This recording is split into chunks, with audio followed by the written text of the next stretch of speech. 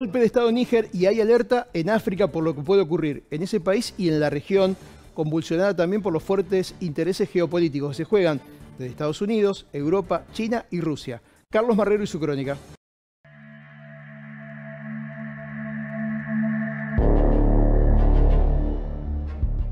El régimen que encabezó el golpe de Estado en Níger el 26 de julio mostraba escaso interés por las propuestas de diálogo avanzadas por Estados Unidos y sus vecinos de África Occidental, que pese a imponer nuevas sanciones, señalaron ahora que la diplomacia es la mejor vía para restablecer el orden constitucional en lugar de la intervención militar barajada inicialmente.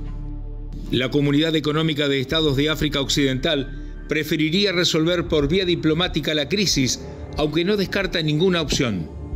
El secretario de Estado norteamericano, Anthony Blinken, advirtió que los mercenarios rusos de Wagner intentan aprovecharse de la inestabilidad, como ocurrió en Mali, Burkina Faso y Guinea.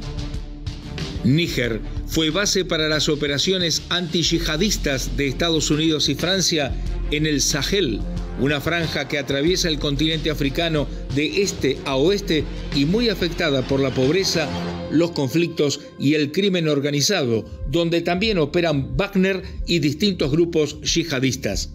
La Unión Europea dijo que ve margen para la mediación para revertir la situación y sostuvo que era necesario agotar la vía diplomática.